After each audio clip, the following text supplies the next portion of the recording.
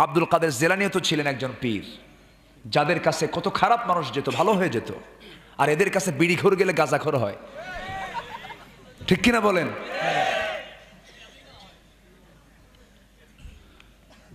আব্দুল কাদের জিলানি, কি পীর ছিলেন? আল্লাহ আকবার।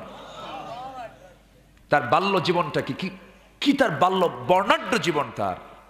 কি সুন্দর জীবন তার বাল্য জীবন? মা বলতেছে, বাজান, যা, শিক্ষার জন্য চলে যা। সন্তানকে পকেট ভর্তি করে স্বর্ণ মুদ্রা দিয়েছে যাও নিয়ে যাও। কখনো মিথ্যা বলবা না। কখনো? মিথ্যা বলবা না। ছেলেটা চলে যাচ্ছে শিক্ষার জন্য রাতের বেলা ডাকাত ধরেছে।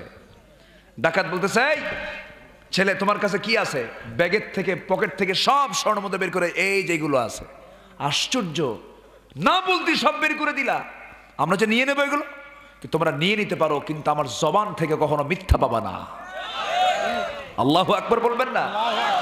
ডাকাতের চোখের কোনা বেয়ে টপ টপ করে পানি পড়ছে আর বলছে, তো তুমি পারলে আমাদেরকে ডাকাতির পথ থেকে অন্যদিকে সরিয়ে দিতে। আল্লাহ আকবর বলেন। আব্দুল কাদের জেলানি, বিখ্যাত একজন পীর, সেই পীর যে শহরে থাকেন, সেই শহরে একজন কুখ্যাত চোর। ছোট্ট একটি ইতিহাস মনে পড়ল, বলি? বলি বলি? যখন আসলে একটু বলেই ফেলি।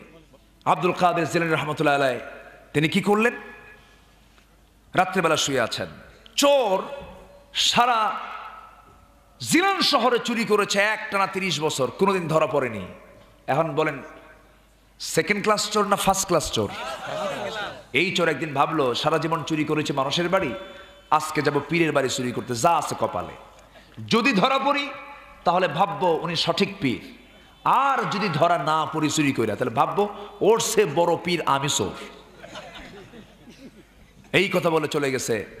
পীরের বাড়ি চুরি করতে। শীত কেটে ভিতরে ঢুকছে। শীত কাটা পর্যন্ত এলাকায় কি বলে? শিং কাটা। যাই হোক, ভাষার তো শেষ নেই। ভাষা অনেক। বলি আলহামদুলিল্লাহ। এই বগুড়ার সব ভাষা কি একরকম? দুপচাচিয়া আদমদিঘি ওই গাবতলি, শেরপুর, চান্দাইকোনা তাড়াস এক না। আট মাইল, দশ মাইল দূরে যাবেন, টানের কম বেশি হয়ে যাবে। এই বগুড়ার ভাষার ভিতরে কত টানের কম বেশি আছে? দুপচা চাদম দিকের মানুষ গরুকে আপনি বলে। গরু কি বলে? আর বাপকে তুই বলে। গরুকে বলে, কে গরু, আপনি খাবিন তো খাবিন না, খাবিন তো গুদগুদাবিন না।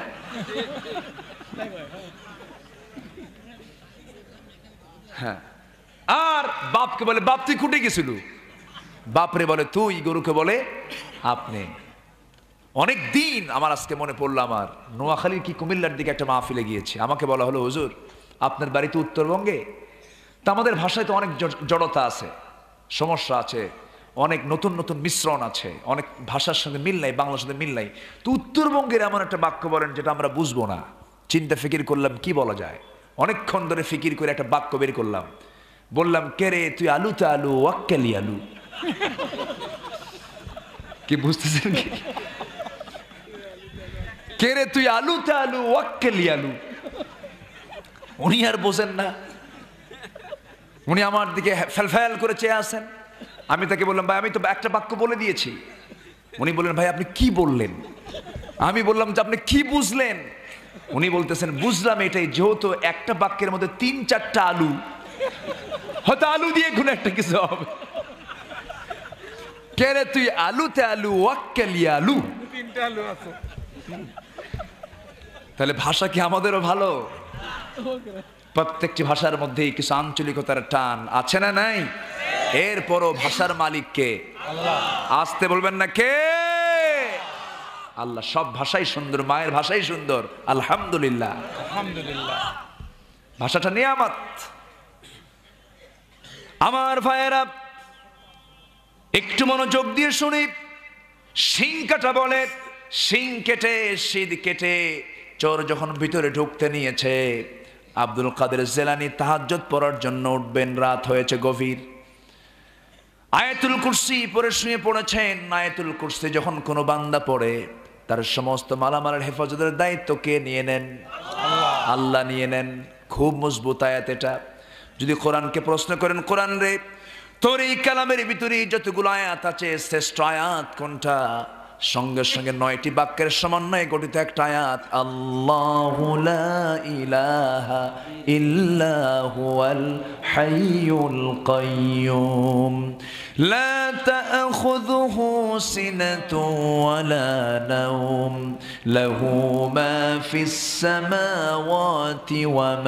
ফিল من ذا الذي يشفع عنده إلا بإذنه يعلم ما بين أيديهم وما خلفهم ولا يحيطون بشيء من علمه إلا بما شاء. وسع كرسيه السماوات والأرض ولا يؤوده حفظهما وهو العلي العظيم জোরে বলুন আল্লাহু আকবার একটা এত নয়টা বাক্য কয়টা বাক্য সব কার পরিচয় আল্লাহর পরিচয় ওয়ালা ইয়াউদুহু হিফযুহুমা কোনো কিছুর সংরক্ষণে আল্লাহর কোনো ক্লান্তি নাই সুবহানাল্লাহ নাইট গেটের ক্লান্তি আছে না নাই নাইট গেট শেষ সাথে আর পারে না চোখ ঘুমায় ওই ভি- ওর মধ্যে ঢোকে ভিতরে ঠিক কি না কিন্তু আল্লাহর তো কোনো ক্লান্তি নাই।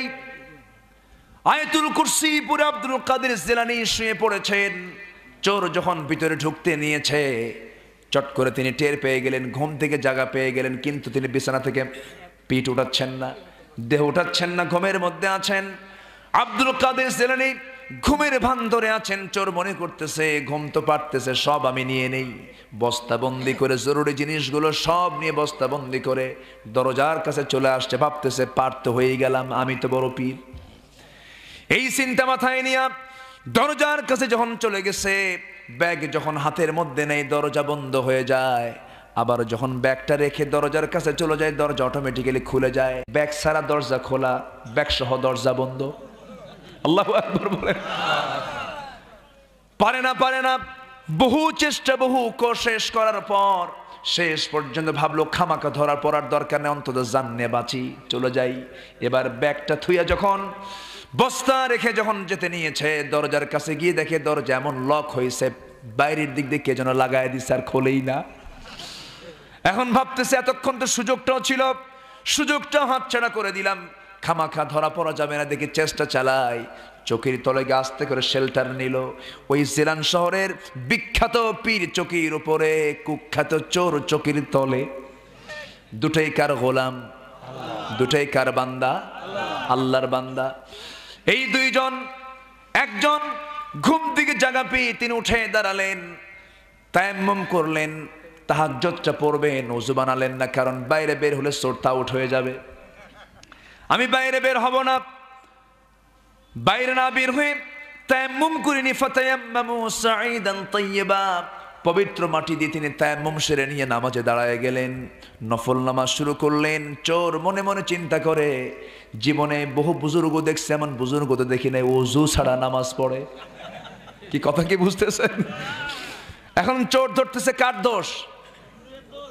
হুজুরের দোষ ধরে ফেলতেছে কারণ চোরের তো আইডিয়া নাই। তায়াম্মুম কাকে বলে, অজু কাকে বলে?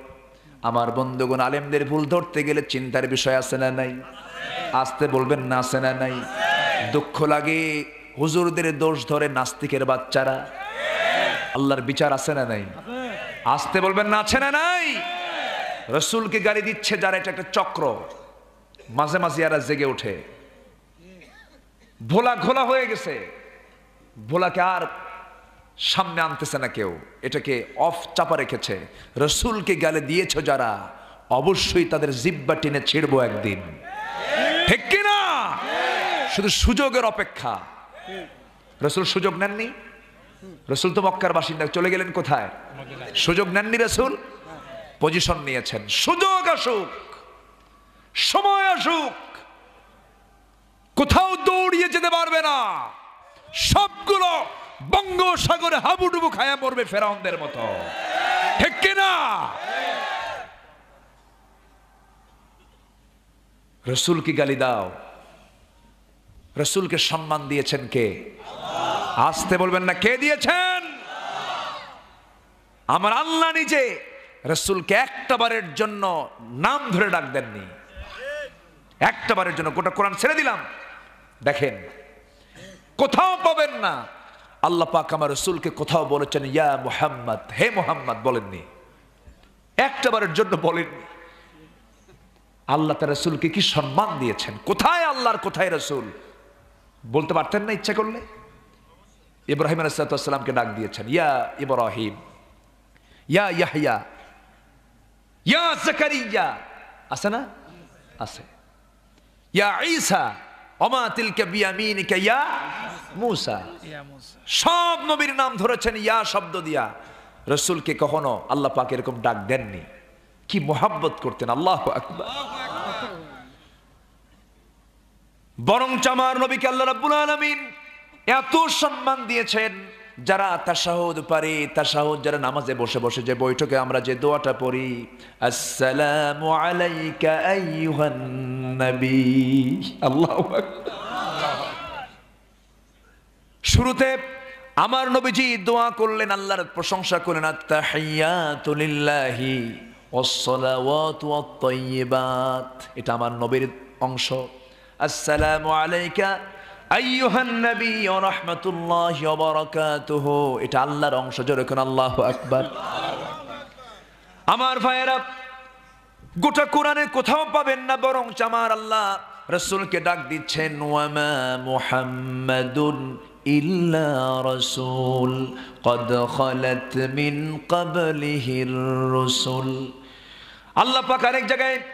সুন্দর করে তার ব্যাপারে বলছেন মুহাম্মাদুর রাসূলুল্লাহ ওয়াল্লাযীনা মাআহু আশিদ্দাউ আলাল কুফফারি রুহামাউ বাইনাহুম আল্লাহু আকবার আরেক জায়গায় বলছেন يا أيها الرسول بلغ ما أنزل إليك আরেক জায়গায় বলছেন ইয়া أيها النبي جاهد الكفار والمنافقين জোরে বলুন আল্লাহু আকবার কোথাও ডাক দেননি নাম ধরে আরেক জায়গায় ডাক দিচ্ছেন ইয়া أيها المزمل قم الليل إلا قليلا نصفه أو انقص منه قليلا জোরে বলুন আল্লাহু আকবার আরেক জায়গায় বলছেন ইয়া আইয়ুহাল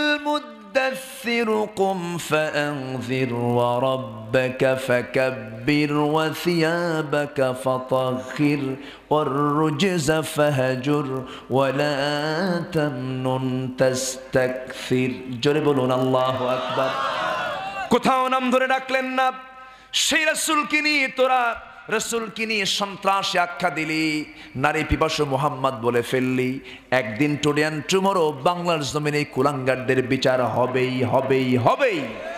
জোরে বলে ইনশাআল্লাহ। ওই অপশক্তির বিরুদ্ধে মাঠে ময়দানে নামতে রাজি আছেন তো? সবাই সক্রিয় হতে রাজি আছেন? এটা হাত তুলে দেখেন তো আল্লাহকে সাক্ষী রেখে।